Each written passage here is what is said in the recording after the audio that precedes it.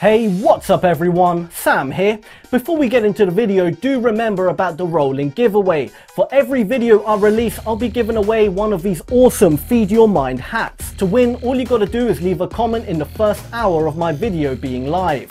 So as soon as my video comes out, leave a comment and in an hour's time, I'll pick a winner at random. So turn on channel notifications, follow me on Instagram, Twitter and Snapchat so you know when I'm dropping a new video. But anyway, today I'm going to be showing you 5 secret languages you didn't know exist. Number 5. Polari. Polari is a fairly modern secret language used by gay people in Britain.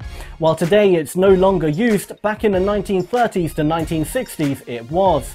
It was started by British sailors and became the unofficial language for British gays. Back then it was illegal to be gay, so to avoid being discovered, gays had to quite literally use their own secret language. The language is still spoken as English, however words have different meanings. For example, sex is called trade, vada means to look at, chicken is a young man, police are called sharpie, and an attractive man is called a dish. So if people were to hear someone speak Polari, it won't sound foreign, but at the same time, it wouldn't really make much sense. Number 4. Leet. Back in the 1980s, a group of hackers started their own language. The language is called Leet or Hackspeak, and you may have seen it before. The language isn't made to be spoken in everyday life, instead it's only for communication through digital devices. For example, to write the word hacker in Leet would look like this. All that's being done here is creating a word using letters, numbers and symbols. It's not really a majorly sophisticated language as decoding it isn't really that difficult. However, it does have its uses. It can be used to bypass spam filters where certain words are blocked, but can also be used as a way of creating a really strong password from a simple, easy to remember word. Number 3. Boontling. In the town of Boonville, California, they had an unofficial language. It was called Boontling and was being used from 1880 to 1920. The language is made up from several Native American languages, Spanish, English and slang words. A lot of the slang words were based on people who lived in Boonville. For example, Jeffer meant fire. This is because a man called Jeff Vestal often liked to start fires. The word for doctor was shovel tooth. Again, this is because the town's doctor at the time had a wide tooth. The language stayed within Boonville and never spread, mainly because it wasn't around for long and I guess a lot of the references didn't really make sense to outsiders. Number 2. Swardspeak.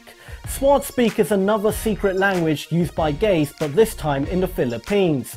Again, gay people lacked rights and had to speak in code to not be discovered. The language is a mixture of English, Spanish, Japanese and several native Philippine languages. It doesn't have any strict rules and words can be added and removed when needed.